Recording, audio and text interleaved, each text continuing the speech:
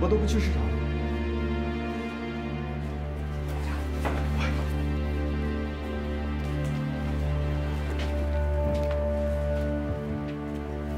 你们怎么回事？都在这干嘛呢？不用上班吗？这怎么没上班？这不都在单位吗？就是，就许你们每天大会小会的，就不许我们也开个会啊？对不对？对啊。刘永德呢？知道啊。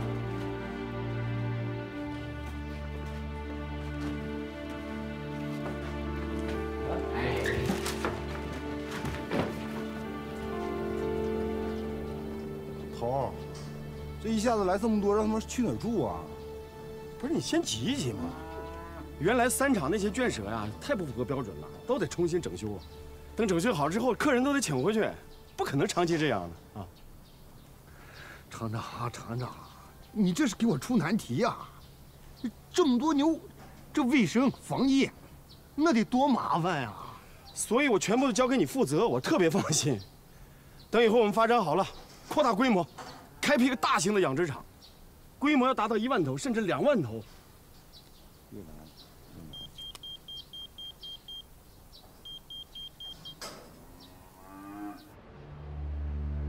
市场部忽然提出。现在销售提成太低了，如果不大幅度提高，就没法刺激员工的积极性。这谁？乔山呢？他和花头昨天去了海拉尔。哦，乔山刚走，他们就开始啊闹事儿，是不是？有预谋的吧？啊？市场部这块相对独立，人员构成也比较复杂。以前就抱怨过提成太低了，但是像这样有组织有预谋的，还是头一次。不是有什么抱怨的呢？那，提成是低了。但是他们工资水平跟其他部门的完全一样啊，这哪儿不公平了？而且，他们现在还提出来，今年的销售提升必须在十二月底以前完成结算。我也给他们讲了，为什么明年三月才能完成结算的道理。因为我们今年的销售回款要在明年三月份才能完成结清，可是他们说，不完成结算，就没法安心过年。他们到底是谁？有二十几个。有两个闹得特别凶，那两个谁？这乔小山不在，那个那刘永德呢？刘永德不是市场部主任吗？他怎么不出面啊？我也一直在找他，呼他他也不回。你接着呼他，你就说我找他。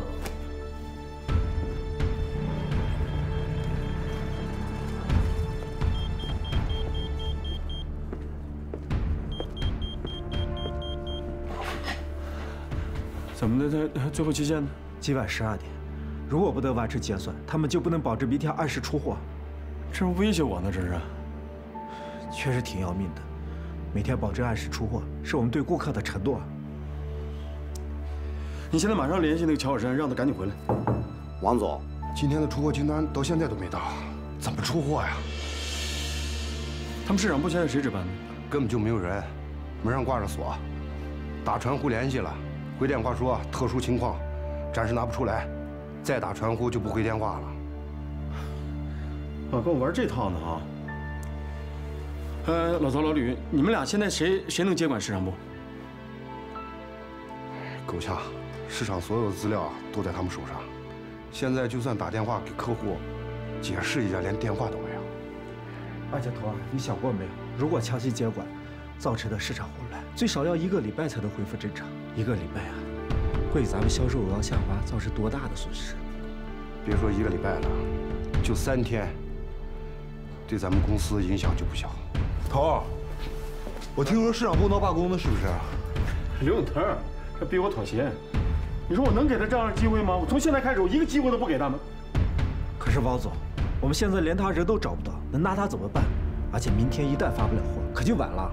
不是，我们当时分工的时候不立了规矩吗？市场部必须得有备案的。走，走，快！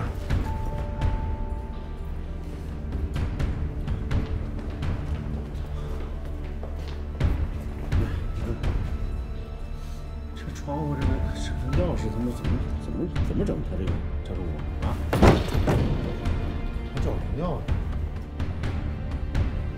哈 哈哈你是比我猛啊？你这啊啊哈嘿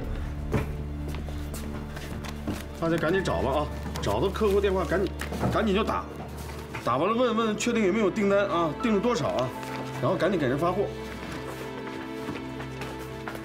那怎么给客户解释啊你想怎么说你就怎么说我不管你就说业务员他妈去世了回家奔丧去了把资料带走了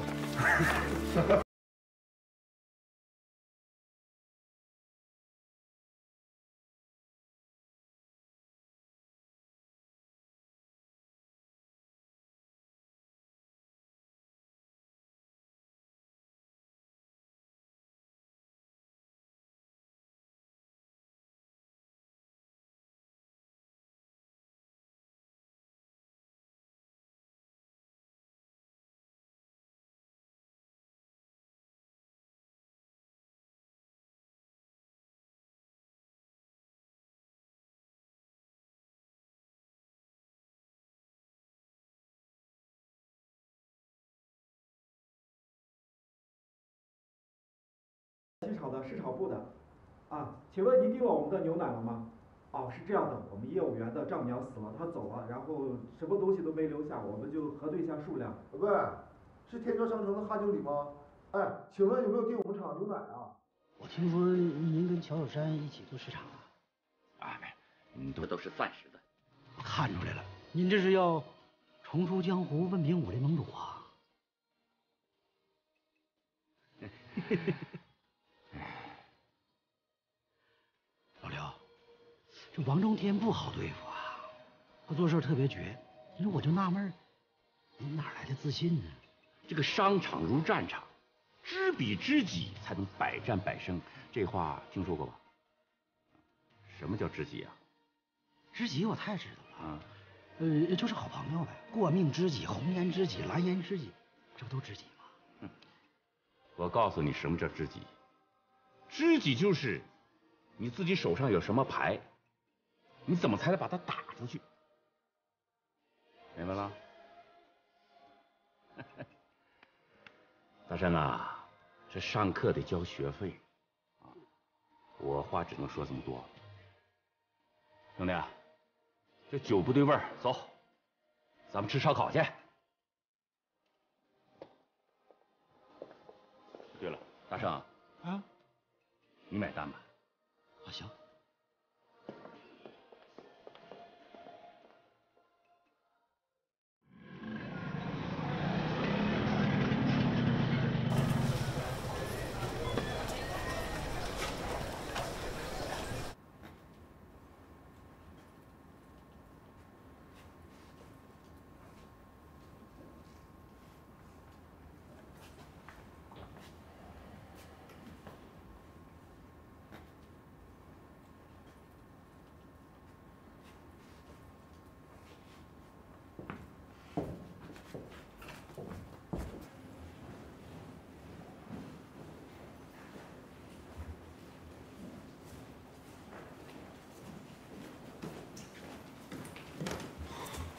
哥，哥，我想跟你说几句。哥，你相信我，这事跟我没关系，我真的不知道是怎么回事。王霞这几天心情不好，总是跟我吵架，班也不好好上，我也挺烦的。正好听说海拉尔那边有事儿，我就过去了，想躲躲清闲。你是躲清闲还是躲嫌疑？哥，我躲什么嫌疑？我真的不知道是怎么回事。你听我说，咱们之间吵归吵，闹归闹，那是咱们亲兄弟之间的矛盾。这个工厂也是我的家，咱们是一家人，我能让外人到咱们家里来闹吗？你相信我。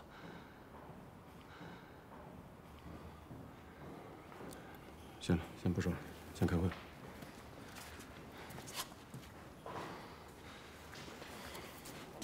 嗯。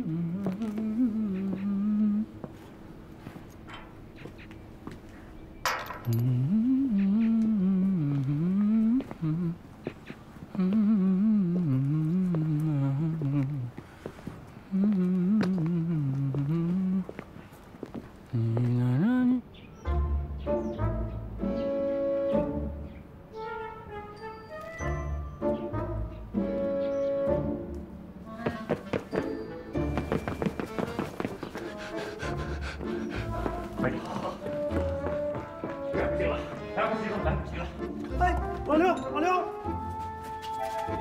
老刘老刘你干啥去？我开会去哎王总让我告诉你今天的会不用你参加了。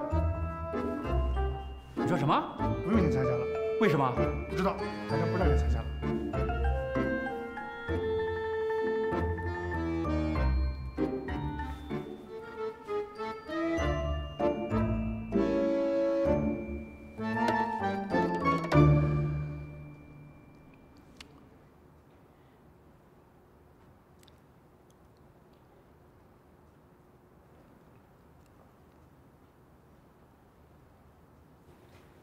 大家都不提啊？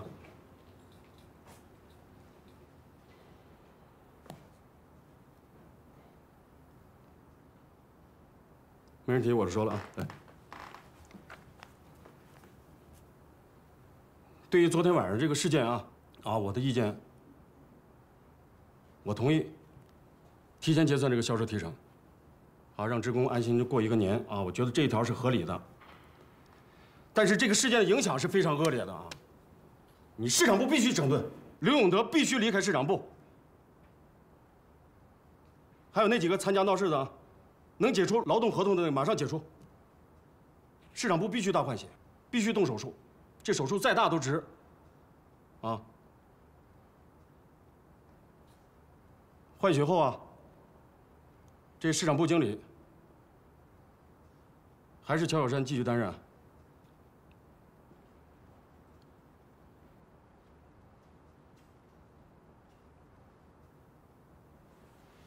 因为我觉得这个，这个有山跟跟这事没有关系，这一点我还是相信的。啊，小李，哎，你把那个清单给我一下。咱俩得快一点啊！一会儿他们就过来。哎，小李，哎，嗨，嫂子，不然过来了，有事儿啊？你这钱都准备好了钱？什么钱啊？啊？这钱不是给我改造供电设备和线路的维修款吗？这不是？啊，不是不是，这个钱不是，不是给你的。中天没跟你说啊？这还这，哎，中天就知道中天来了，他他。不，头儿什么意思啊？我这下午这人都到了，准备施工了。啊，那个，不是，不是这么回事。你你出来，你出来，你出来，你出来。出来说什么呀？你在这说清楚，你在这说清楚，我着急呢，我。我先出去打点水啊。啊，行行，你你把门给我带上啊。我在想你那个，你那个工程能不能缓一缓几天？缓几天，我想先把这个市场部这个销售提成给他发了。不，为什么呀？我这下午人都到了，我这准备施工呢，我这来不及，我。我知道，我知道，因为什么呢？因为咱上次不把那个那个市场部门都给踹坏了吗？然后你最后你得给乔山点面子，是不是？不是，这这是供电设备大修，是保证生产最重要的一个环节，你知道吗？很快，咱们有一笔那个销售回款马上就到了，就最，就三五天啊，一一个礼拜都用不了。你你问问问对。对对是，这我我保证，也就是五六天的时间，回款马上回来就给你。不不是保证的问题，现在线路老化了，你得保证厂里的安全，对吧？你得保证这个工人的安全，这是必须遵循的工业伦理，你知道吗？我我知道，你你工人这个安全、生产安全，我能能能能不在乎吗？钱呢？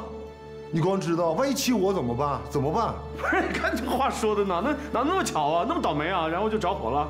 就是牧人，怎么能那么巧呢？我说中天，这么长时间我都如临深渊、如履薄冰的，你知道吗？知道，知道。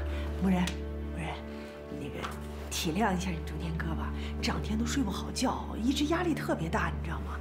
也就是五六天，我我给你记下来行吗？我给你记下来，来了立刻给你啊。五天用不上，啊。用不上，行，我告诉你，五天我过来取钱啊！你再给我说那么多理由，你这办公室我都给你砸。不然，一定砸！我支持你啊！到时候他要是回家了，钱不给你的话，我给他锁外头，我不让他进门。嫂子，我给你，我就冲你面子，他他老各种理由，他。五天啊，行，好好。哎呀，天哪，这是。行了，中天，我这马上就好了，咱们可以过来。好，好，那来。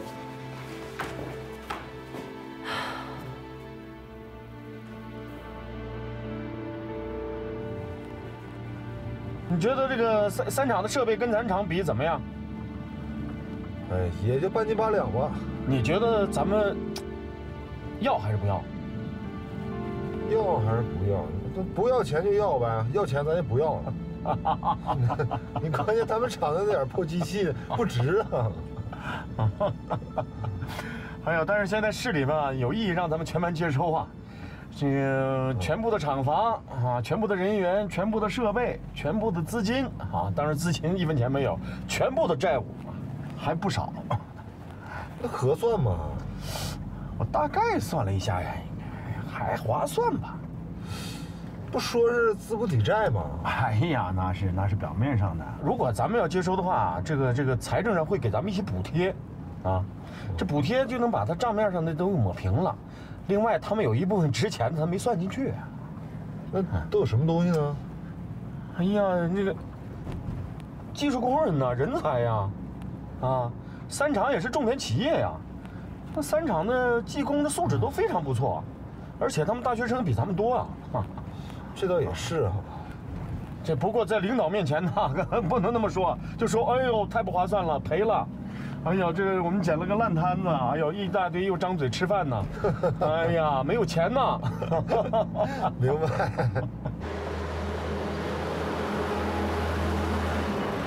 哎，你们几个谁见刘永德了？啊，在对面楼上，销售部老仓库那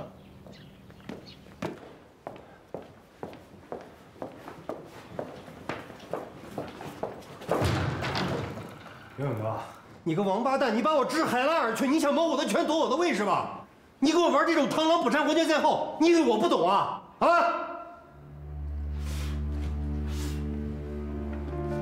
你说话呀！你什么意思啊？谁给你权利这么做的啊？要不是王中天相信我的为人，我就被开除了。你想害我，你就明说。骂完了吗？骂痛快了吗？不痛快，这样我烤东西边吃边吃边骂来。少来这套！把话给我说清楚，要不然我就吃不了兜着走。我解释什么呀？我需要解释吗？结果都摆在那儿了，这正是我希望看到的。这正是你需要看到的。对啊，你到底什么意思？你别装神弄鬼了，你说清楚。我呀，还真就是装神弄鬼。但是你知道我为谁装吗？啊？我这是装给你看，你还不明白吗？整件事情你要是知道的话，你能碍着面子跟王中天翻脸吗？就你们俩的关系，我还不清楚吗？这就是我为什么把你知道海勒尔的原因。啊，我要不把你在整个事件里摘得干干净净，王中天还能信任你吗？还能让你当这市场部的经理吗，兄弟？你还不明白呀？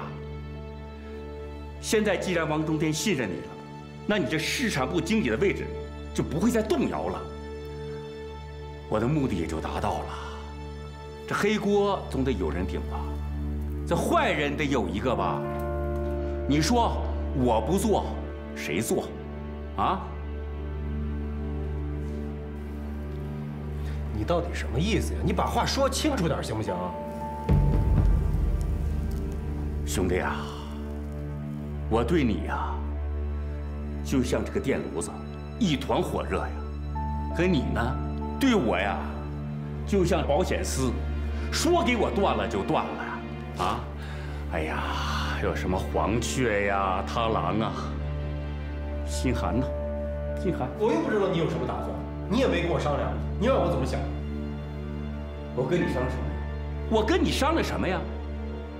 我跟你商量，你就是局内人；不跟你商量，你就是局外人。王中天现在一直想要弄我，我就事而为，把他的视线全吸引到我身上来，不就把你给保住了吗？你说我为什么要保你？还不是想把市场部牢牢的控制在你我的手里吗？你呀你呀，我说你什么好？木头，你呀。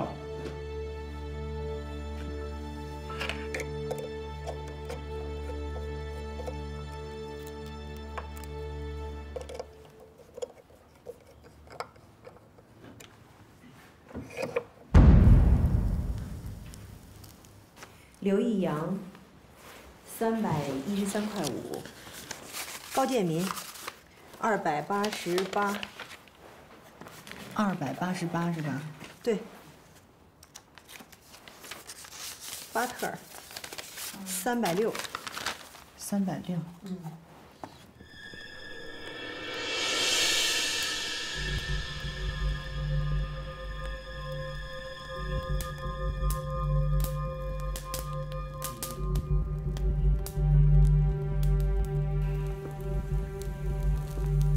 我跟你说，兄弟，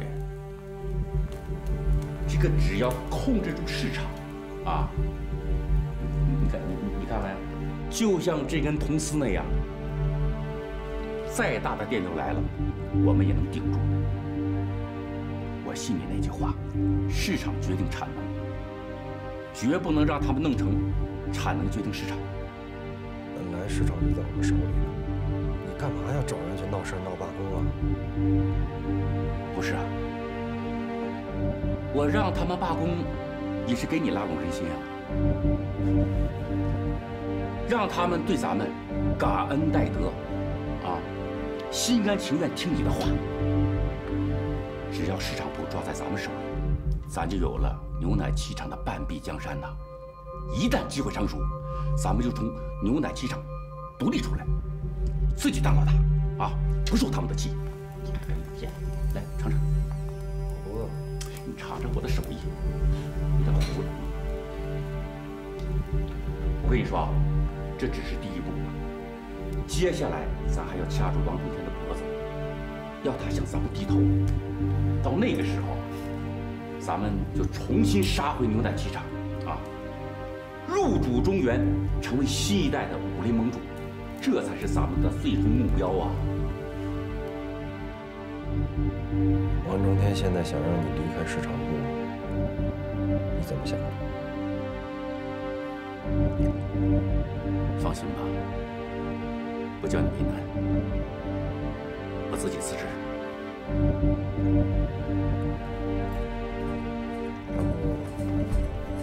我想想办法。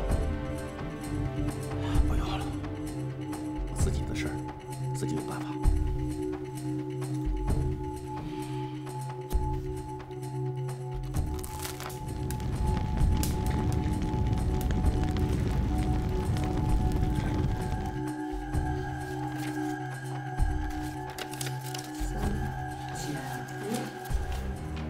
什么味儿啊？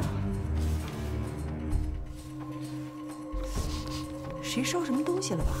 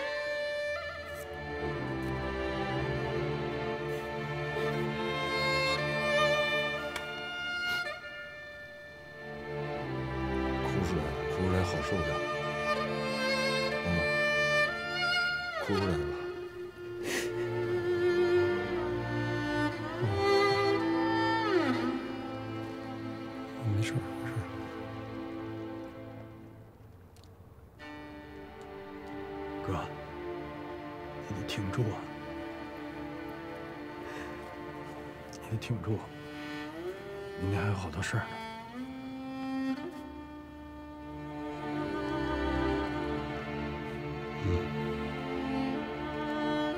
对，明天得得办丧事儿，哎，我还得回去给他给他收拾收拾东西，他用的一些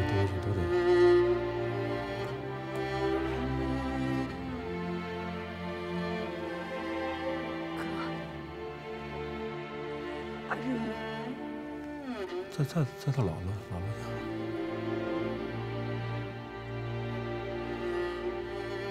哎呀，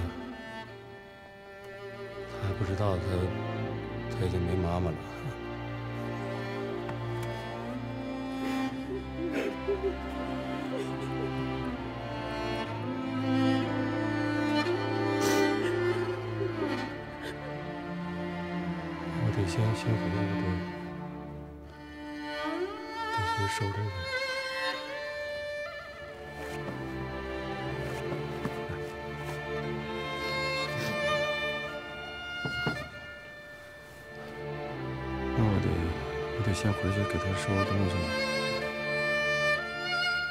你们都都回去都都休息吧，辛苦，啊，辛苦辛苦。啊，那你们辛苦了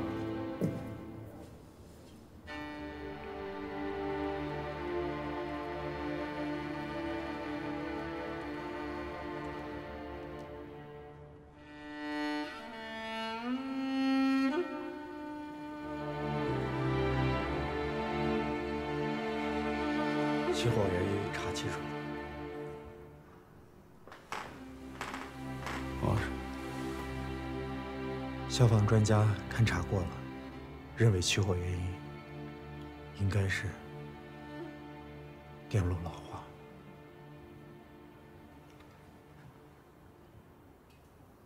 现在线路老化了，你得保证厂里的安全，对吧？你得保证这个工人的安全，这是必须遵循的工业伦理，你知道吗？我我知道，你你工人这个安全、生产安全，我能能能能不在乎吗？钱呢？你光知道，万一起火怎么办？怎么办？不是，你看这话说的哪能哪那么巧啊，那么倒霉啊，然后就着火了。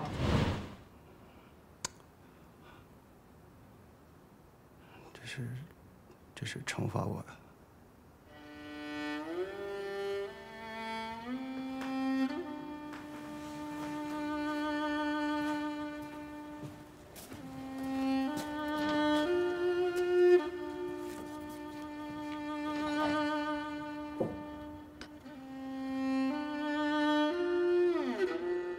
上级部门已经下通知了，要求我们厂停产一周，必须确保今后的生产安全。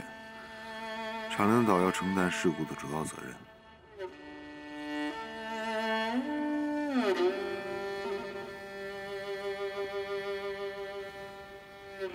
这都是这都是你的衣服，我都得给你拿过去。嗯，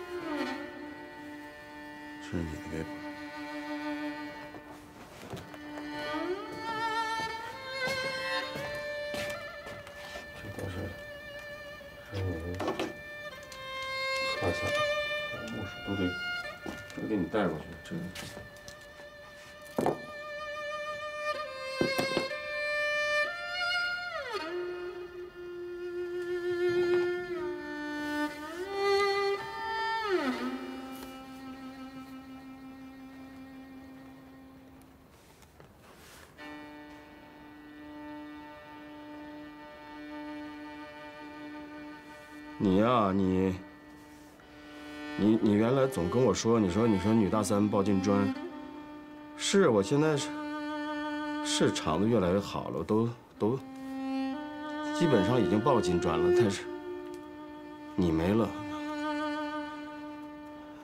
抱住金砖但是没抱住你这话不可信这话真的不可信。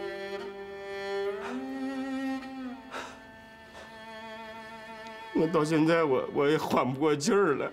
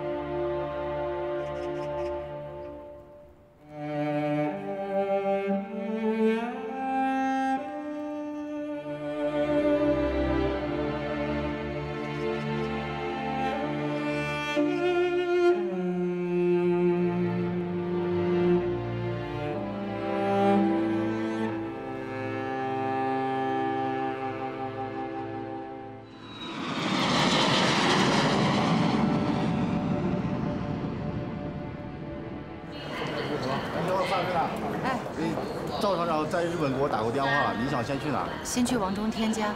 走吧，辛苦你了。啊，没事。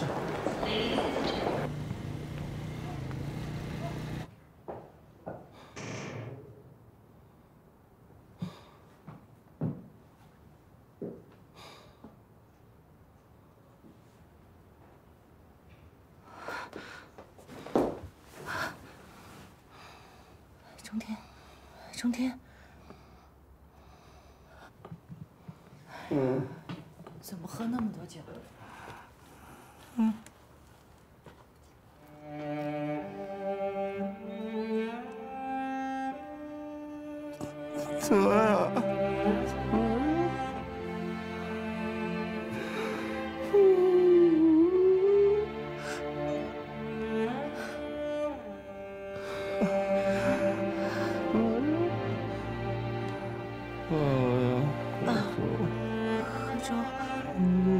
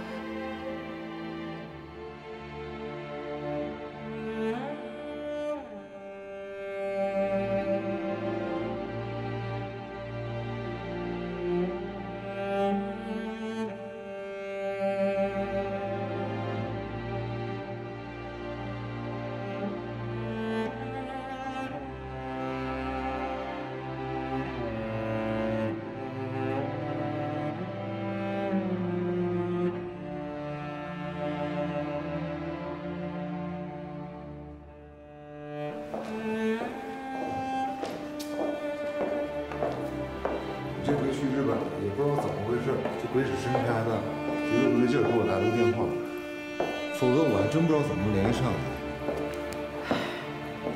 哎，对了，牧然，嗯，市场部那一边现在是怎么安排的？处理了吗？有两个主要闹事的，听说临时工已经开除了，其余的十几个已经调换一些工作，就这样。那刘永德呢？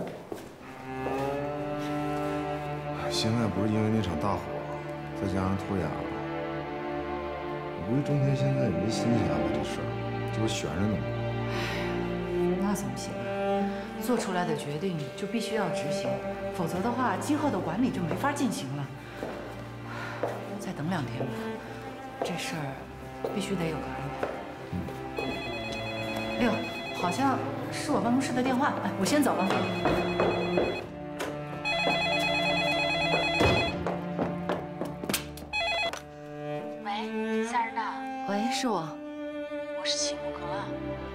姐。你回来了？啊，我我回来了。托雅的事儿，您都已经知道了吧？我都知道了。哎，那阿日怎么办呢？我跟罗老师商量好了，阿日那边我们都会去照顾的。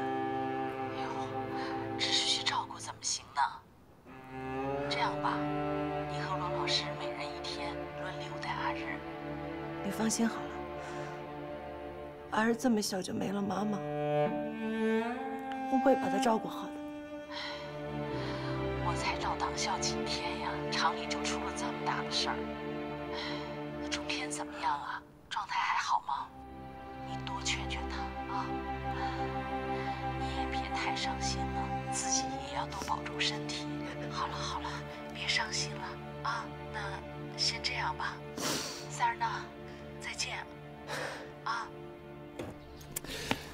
不是你疯了你呀？